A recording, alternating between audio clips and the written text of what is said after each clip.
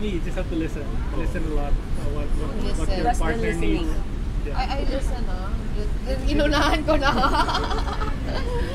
yeah, well, he listens a lot, Okay. obviously, but I do listen a lot. And, you know, ano talaga, we, well, marriage is, ano, t- teamwork talaga eh. Hindi talaga pwedeng isa lang. And I'm happy that I'm lucky that he's trying his best, especially with my schedule na ang hirap magkakatugma.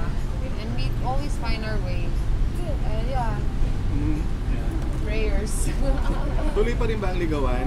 Oo naman. I think so. Kaya, uh, daming pogi sa showbiz eh. Kaya kailangan, kailangan uh, may konting, ano, um, konting drama, konting eksena sa bahay. Mhm. Or else, wala. eh. Daming, Mhm. daming mga... Apo, ano po, parang ano lang natin sa ibang couple, pag may tampuhan, ano ang dapat gawin? Kailangan bang isolve agad? Ano ang dapat gawin pag may tampuhan? have some time for don't fight when both of you are hot kasi well it's gonna be a mess for me. Take time to breathe. Well, ang galing ko magsalita, pero ang kulit-kulit ko pag nag-away kami, uy, kausapin mo na ako.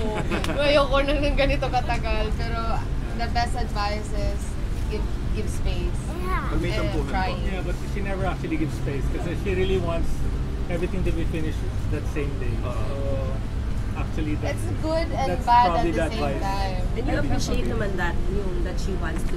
Yes, The- nakakasar, nakakasar during the, while it's happening, but after you realize if she didn't do that or she didn't make kulit, then it wouldn't end up, it wouldn't end so fast. And so parang it's nice that, you know, everyone has different styles and if you accept it, parang it's really for the better.